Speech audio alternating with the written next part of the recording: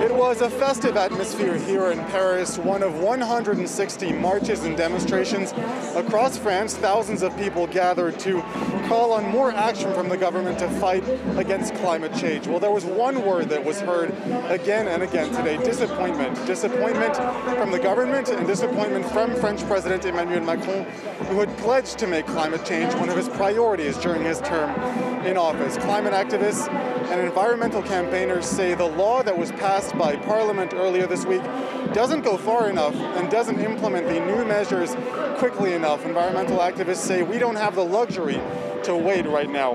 So demonstrators say uh, they want the government to implement a new law. They want French President Emmanuel Macron to introduce a new law that is more ambitious and that will help the country reach its emissions target.